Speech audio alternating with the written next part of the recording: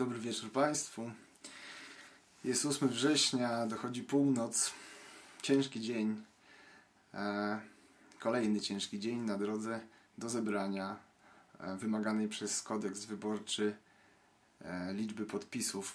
Muszę zebrać 2000 podpisów, żeby moje nazwisko znalazło się na karcie wyborczej.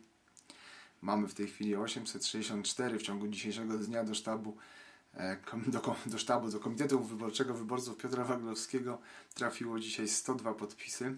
Za każdy z nich bardzo serdecznie Państwu dziękuję. Za każdy, który do tej pory do nas wpłynął, za każdy, który jest jeszcze na tych kartach, które mają wolontariuszy. Wiem, że to jest strasznie ciężkie zadanie, żeby zebrać te podpisy. Jest też moim udziałem, bo przecież chodzę i zbieram. E, i wiem, że to jest bardzo trudne. Tym bardziej dziękuję tym wszystkim wolontariuszom, którzy e, włączyli się e, w ten projekt Senat i wierzą, że możliwe jest, by ktoś, kto nie jest związany z żadną partią polityczną, kto nie ma struktur,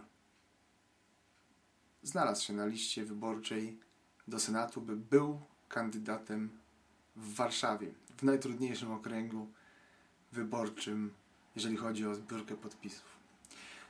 Podpisy będziemy liczyć w sobotę. Zobaczymy na czym stoimy. Zobaczymy jak jeszcze wiele pracy przed nami w tych ostatnich dniach. Walczymy do końca. Bardzo dziękuję za to, że łączyliście się w ten projekt. Dziękuję za to, że wspólnie przechodzimy przez to ćwiczenie z demokracji w Polsce. Uważam, że tylko aktywność obywatelska może zmienić cokolwiek w państwie. Tylko ta obywatelska aktywność może sprawić, że państwo w Polsce będzie tak naprawdę należało do obywateli, że obywatele będą gospodarzami we własnym kraju. Pozdrawiam serdecznie, do zobaczenia.